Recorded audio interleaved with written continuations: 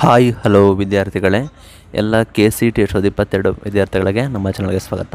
ಇವತ್ತಿನ ವಿಡಿಯೋದಲ್ಲಿ K C T ಎರಡು ಸಾವಿರದ ಇಪ್ಪತ್ತೆರಡು ರ್ಯಾಂಕಿಂಗ್ನಾಗೆ ಕ್ಯಾಲ್ಕುಲೇಟ್ ಮಾಡ್ತಾರೆ. Veterinary farm science engineering pharmacy ಇದೇ ರೀತಿ ವಿವಿಧ ಕೋರ್ಸ್ಗಳಿಗೆ ನಿಮ್ಮ ರ್ಯಾಂಕಿಂಗ್ನ ಹೇಗೆ ಕ್ಯಾಲ್ಕುಲೇಟ್ ಮಾಡ್ತಾರೆ ಅಂತ ಈ ವಿಡಿಯೋದಲ್ಲಿ ತಿಳಿಸ್ಕೊಡ್ತೀನಿ. ಚಾನಲ್ಗೆ ನೀವು ಹೊಸಬ್ರಾಗಿದ್ದರೆ ಆ್ಯಸ್ ಯೂಶ್ವಲ್ ಸಬ್ಸ್ಕ್ರೈಬ್ ಆಗಿಲ್ಲ ಅಂದರೆ ಬೇಗ ಬೇಗ ಸಬ್ಸ್ಕ್ರೈಬ್ ಬಟನ್ ಕ್ಲಿಕ್ ಮಾಡಿ ವಿಡಿಯೋ ಇಷ್ಟದ ಲೈಕ್ನ ಮಾಡಿ. ಇದೇ ರೀತಿ ಡೈಲಿ ಕಂಟಿನ್ಯೂಸ್ ಆಗಿ ಅಪ್ಡೇಟ್ ಕೂಡ ಬರ್ತದೆ.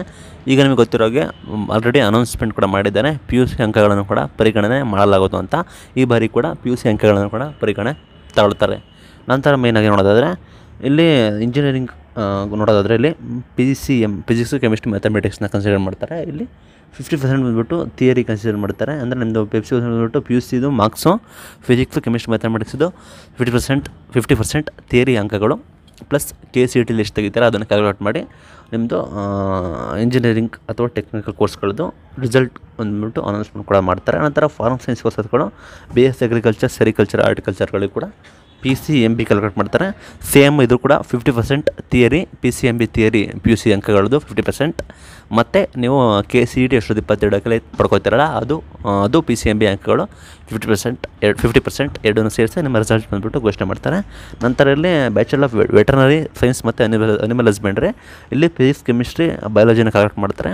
ಇಲ್ಲಿ ನಿಮ್ಮ ನೋಡೋದಾದ್ರೆ ಇಲ್ಲಿ ಯಾವುದೇ ರೀತಿ ಪಿ ಯು ಸಿ ಅಂಕಗಳನ್ನು ಕನ್ಸಿಡರ್ ಮಾಡೋದಿಲ್ಲ. ಇನ್ನು ವೆಟರ್ನರಿಗೆ ಯಾವುದೇ ರೀತಿ ಪಿ ಯು ಅಂಕಗಳನ್ನು ಕೂಡ ಕನ್ಸಿಡರ್ ಮಾಡೋದಿಲ್ಲ. ವೆಟರ್ನರಿ ಕೋರ್ಸ್ಗಳಿಗೆ ಓನ್ಲಿ ಕೆ ಸಿ ಇ ಎಷ್ಟು ಬಂದಿರುತ್ತೆ, ಅದ್ರ ಮೇಲೆ ನಿಮಗೆ ಘೋಷಣೆ ಕೂಡ ಮಾಡ್ತಾರೆ. ಇಲ್ಲಿ ನೋಡೋದ್ರೆ B pharm second year B pharm ಮತ್ತು ಫಾರ್ಮ್ ಡಿ ಕೋರ್ಸ್ಗಳಿಗೆ ಎರಡು ಚಾಯ್ಸ್ ಇರುತ್ತೆ. P C M or P C B ಅಂತ.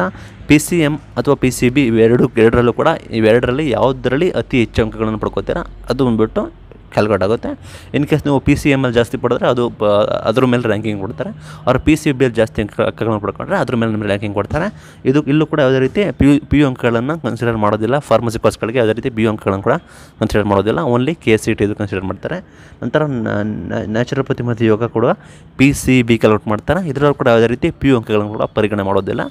ನ್ಯಾಚುರೋಪತಿ ಮತ್ತು ಯೋಗದಲ್ಲಿ ಯಾವುದೇ ರೀತಿ ಪಿ ಯು ಅಂಕಗಳನ್ನು ಪರಿಗಣನೆ ಮಾಡೋದಿಲ್ಲ. ಅದು ಕೂಡ ಸಿ ಟಿದ್ ಮಾತ್ರ ಪರಿಗಣನೆ ಮಾಡ್ತಾರೆ. ಇಲ್ಲಿ ನಿಮಗೆ ಪಿ ಯು ಅಂಕಗಳನ್ನು ಯಾವುದಕ್ಕೆ ಕನ್ಸಿಡರ್ ಮಾಡ್ತಾರೆ ಅಂದರೆ ಇಂಜಿನಿಯರಿಂಗ್ ಮತ್ತು ಟೆಕ್ನಿಕಲ್ ಕೋರ್ಸ್ಗಳಿಗೆ ಕನ್ಸಿಡರ್ ಮಾಡ್ತಾರೆ.